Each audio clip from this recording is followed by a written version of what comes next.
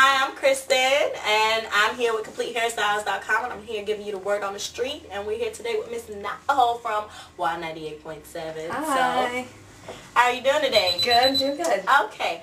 Um, well, basically, I just want to ask you a few questions on your career and uh, on like the types of hair products you use and stuff like that. Just getting Okay. the word, you know, find out what's going on with you. Cool. So, um, when did you first get started with your career? Um, my junior year in college, I started working part-time for the station, you know, on the street team, doing promotions, and I actually got internship credit for it, even though I technically wasn't an intern at the station. Okay. So that kind of took care of my credits in school. And after two years of working on the street team, and like, I did overnights on air, you know, part-time, getting paid $7 an hour. Okay. just kind of like preparing for my next step because you you never know like if a spot opens Then you have to go right then there. you, you got to be ready you know to fill the spot or to interview for it or whatever and when the spot opened on the morning show um, Orlando asked me if I wanted to do it and I was on it you know Okay. I was ready I was there and ready so You say your junior year in college. Mhm. Okay, so going into college, did you know that you wanted to go into broadcasting or, you know, DJing and all of that? I wanted to be a veterinarian when I Wow. That's a huge change. It is, what brought about that? Well, I have a cousin that's in, in radio. Um, Mhm. He's been DJing and been on air in New York for years.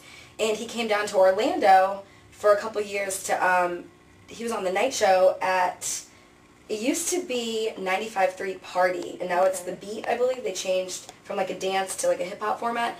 Um, and he was on air four years over there. And I just, my brother was going to school at the same time that he was working at the station. And I used to go up to Orlando visit my brother, and we would go hang out with my cousin at the station. I'm like, okay, this is cool. Like, I can that? do this. See? So um, I met. It's a weird story. When I, my cousin went back to New York, um, Special Ed, who's our producer on the morning show, Okay. Special Ed interned for my cousin when he was in New York. When Special Ed was, I mean, when he was in Orlando, and Special Ed was going to school in Orlando, he actually interned for my cousin. So I met Special Ed at my cousin's wedding when I went to New York. Okay. When my cousin went back to New York, I went to New York to go to his wedding, met Special Ed at his wedding. Ed gave me, you know, just some advice on how to get into radio. And maybe like a year later, I called the station to apply for a job. Okay, okay. Well, speaking of advice, what advice would you give new and upcoming DJs that's, you know, want to go into radio or someone who's going to college who wants to get a degree in broadcasting or something? What would, what advice would you give them? I would say stay in school. Um, probably the best thing to do is do an internship or a lot of um, news stations and radio stations take like part-time either doing promotions or whatever, you know, assistant, Just take it. Just take it whatever entry level seven dollar an hour job you can get at any kind of broadcast outlet, whether it be TV or radio. I would say take it because it's a great place. You know, it's a great opportunity to move up and to learn a lot of different things while you're in there. You know. All right. So how does it feel being the only female? Well, let me tell you that I want to choke the guy sometimes. I have an older, I have an older brother, and I feel like it's my older brother times four in there. Oh, okay. So the teasing, the hair pulling, the poking. I feel like I'm. We're 12 years old, and we're on the playground, and the boys are picking on me all day long. Really? Yeah. But it's fun when, you know, when the day ends, it's all... Oh, definitely. I love them like they're my brothers. Like we may get on each other's nerves all day, and you know, argue and bicker at each other. But at the end of the day, those guys are like my brothers, and I love them to death. And I wouldn't, you know, be here if it wasn't for them. They've helped me out a lot. So That's a good thing. Yeah. Okay, so what is your motto? Like your motto for life, your motto for every day?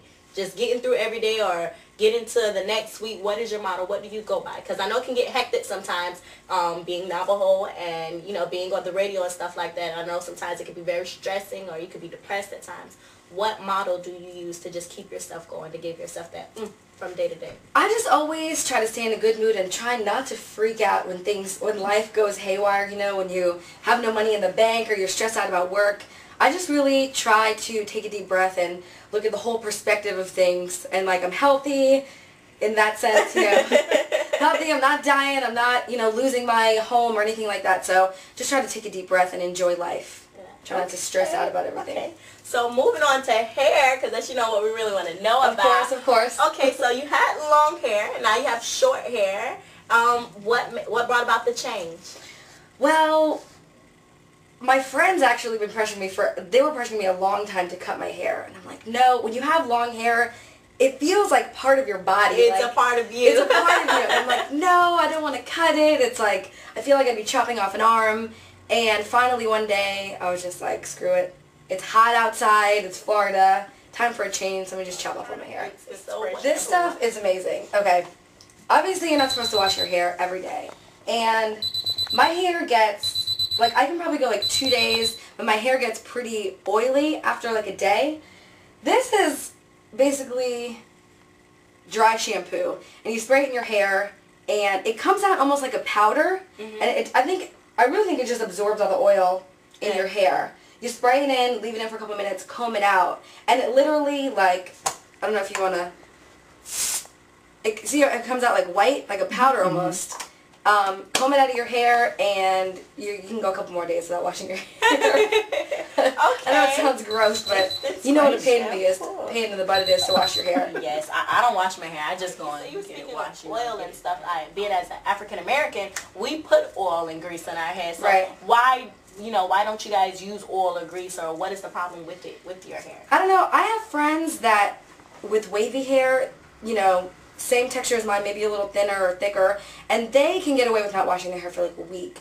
But me, for whatever reason, my hair just gets oily really quickly if I don't wash it. So, reason for the dry shampoo. I don't have to, I don't have to wet it up in the shower. And you speaking of, you use a product that you get from the salon called by Kevin Murphy, which Yeah, is it's called Bodyguard. Bodyguard. Okay, so how do you use this? Like, what do you? Do? Um, just after the shower, take like a little dot in my hand, rub it in. It just protects you from the heat and you know the environment, all the harshness of the uh, of the outside. He's the Tresemme Oh. hairspray. We love The best hairspray ever. That was commercial. Cheap salon products for you I know wanted to they do a good job. In your career, where do you see yourself five, ten years from now? Do you see yourself having your own radio show, being syndicated, and all of those things, or do you see yourself completely out of the field of radio, or modeling somewhere in Milan, or you You know? wish. Um, I really would like to stay in inside the entertainment industry. I'd like to do television. Um, whether that be you know on camera or behind the scenes, I don't really know. I'd really like to do some behind the scenes stuff eventually. I mean, I I would really either like to work for a record label. I would love to do that too eventually, or probably something in television Just broadcast. all in. Yeah, I would, I would love to stay in the entertainment industry. And I really, what I really want to do is make a lot of money so I could do like charity work and non-for-profit stuff. Wow, that's that's good. Yeah, I want to be comfortable enough to be able to. Speaking of nonprofit, are you in any organizations or a part of any organizations or community work right now? Um, I volunteer for the SPCA right now once a week, and I'm actually going to um, New Orleans to rebuild houses for people that lost their homes in Katrina Okay. with the, um, it's called the St. Bernard Project. Okay. They're like a little association over there, and By they, themselves. you yeah, know, they take okay. volunteers that come to New Orleans from all over the country. And if you had to give me one thing to take away from this interview about your profession or about your hair or just about you in general, what would it be? Um, I'm a pretty laid back person. I like to have fun. I don't really get mad a lot. I just like to keep a good attitude and, you know, like I said, focus on my goal. Okay. well, on behalf of on behalf of Complete Hairstyles and myself, Miss Kristen, we would like to thank Miss Navaho for coming here and giving us the word on the street and just come by and check us out on CompleteHairstyles.com.